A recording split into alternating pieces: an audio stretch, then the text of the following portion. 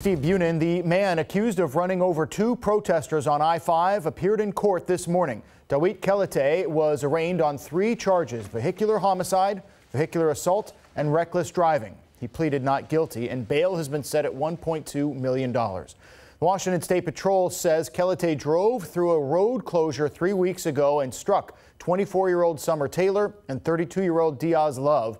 They were both part of a Black Lives Matter protest. Taylor died. Love was seriously injured and is still in the hospital. Kelete's attorney issued a statement that said that he has protested for Black Lives Matter and that this tragic event, quote, was not a political act or statement against Black Lives Matter. It was an accident. No words can express or make up for the suffering that Diaz Love, Summer Taylor's family, and their loved ones and friends are enduring. We all we got. We all we. While that was happening inside, a rally outside for Summer and Diaz was held the, outside the King County Courthouse there. You can see about 100 people showed up with signs and messages of support. Diaz Love was able to kind of be there via streaming video. She told the group to stay strong and that she vowed to rejoin them. We love you. Love you. We love you.